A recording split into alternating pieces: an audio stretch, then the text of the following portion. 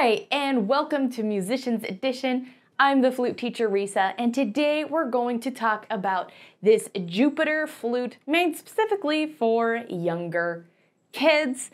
Now, there are some options when it comes to these types of flutes. Um, we have this one, and we have like the Di Zhao Mini, and there's just a few differences between them. So, this one doesn't have the full C foot joint, which means the lowest note can be is D which is fine for your child's student. They're not going to be playing low C for a good hunk of time, so we don't need to worry about that. With that, that's also going to make the flute a little bit lighter.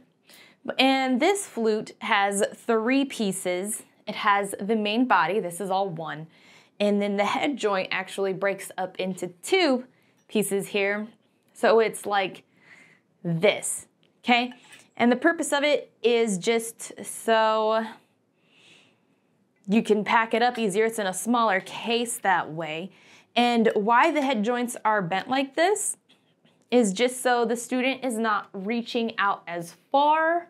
They can have a comfortable fit here. Okay, now there are some guidelines to help your student know where their fingers go. Now it's not as strong as the Di Zhao Mini. So the Di Zhao Mini, the keys come up their little assist comes up a little bit. This one is just more of an indent for a feel. Now, the pro to that is that it should be enough for your student to feel where their fingers go. But when they transition onto a regular student flute, that transition is not going to be as tough because, well, with the Di Zhao Mini, they're going to really feel where it's at. And then when we go to a student flute, they might feel a little lost. This one, the transition is going to be a little bit smoother. This one also does not have the thumb port. So your student is going to have no problem shifting over to the student flute and knowing where their thumb goes. There's going to be no transition there. It's going to be smooth flute to smooth flute, okay? And then this curved head, it makes the flute a little bit longer than the Di Zhao Mini, so it comes out a little bit more than the Di Zhao Mini. So this flute probably fits more towards a six seven, eight year old student is probably going to feel more comfortable with this one than they are going to be with the Di Zhao Mini, which is going to fit a student that is a little bit younger and smaller. Okay, and this flute, it still plays great, still, still a great flute for a beginner young student.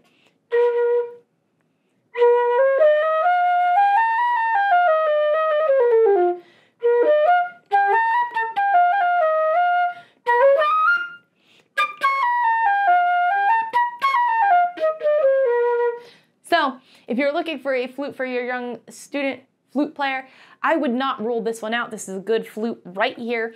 And I would really dwindle it down to three flutes. Um, we have a whole piece on all three flutes. Best way to go about it is having your flute student try out flutes. Now I know it's a little hard when your flute student has never played flute before but you can try these flutes out just so they can get the feel of it and see which one they feel most comfortable with. Things you're going to consider is like weight. You're going to want to consider the assisted keys because some of them are assisted, some of them are not. You want to feel how they feel, how far out, and how comfortable that feels to them. And then you also kind of want to think about when it's time to upgrade. Are you going to want to upgrade the whole entire flute? Or do you want to just upgrade the head joint, which in this case, your head joint would come first with a flute, but that, that's with a different flute. It's just a few things to consider, okay? Either way, I recommend trying some flutes out from the Flute Center of New York.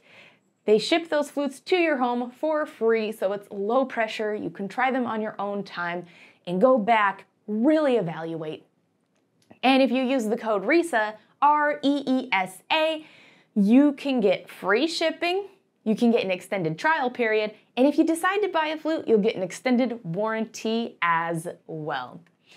All right, so if you have any questions, comments, concerns about the Jupiter flute, any other flute for young students, or flutes in general, let me know in the comments. While you're down there, don't forget to hit like, notify, and subscribe so you don't miss any of our flute related content.